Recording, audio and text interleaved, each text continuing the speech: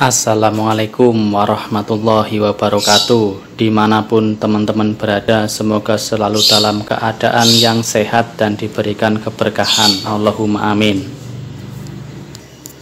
Bagi teman-teman yang mempunyai perangkat Laptop ataupun komputer Yang sedang mengalami kendala seperti punya saya ini Boleh silahkan simak.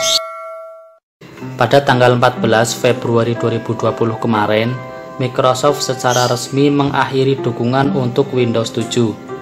Mereka tak lagi menyediakan dukungan untuk pemilik komputer maupun laptop yang masih menggunakan Windows 7 ini. Dalam situs resminya dikutip bahwa Microsoft mengumumkan pengguna Windows 7 nantinya tidak mendapatkan segala bentuk dukungan, termasuk dari serangan malware.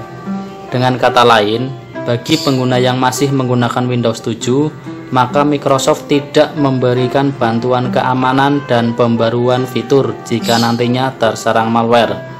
Sebagai gantinya, pengguna bisa beralih menggunakan perangkat baru atau cukup memperbarui perangkat ke Windows 10.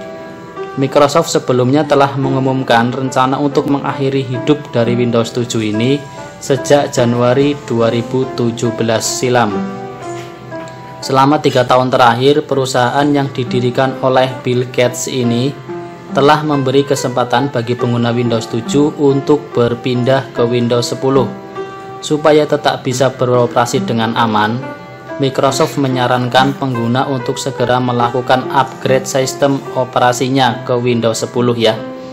Sementara teman-teman bisa ikuti petunjuk sesuai arahan pada perangkat teman-teman sekalian. Semoga bermanfaat. Terima kasih. Wassalamualaikum warahmatullahi wabarakatuh.